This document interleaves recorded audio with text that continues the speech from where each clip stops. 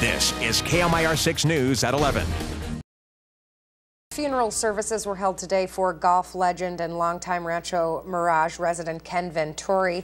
More than 400 of Venturi's friends and family filled St. Margaret's Episcopal Church in Palm Desert.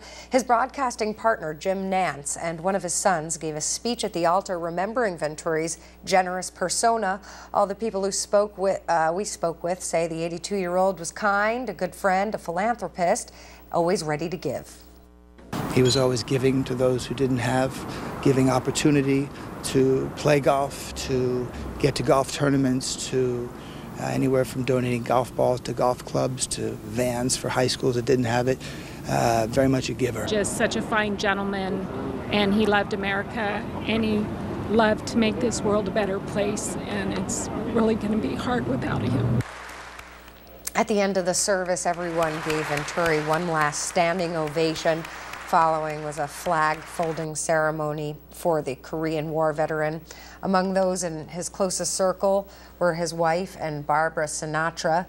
They want Venturi to be remembered as a giving person.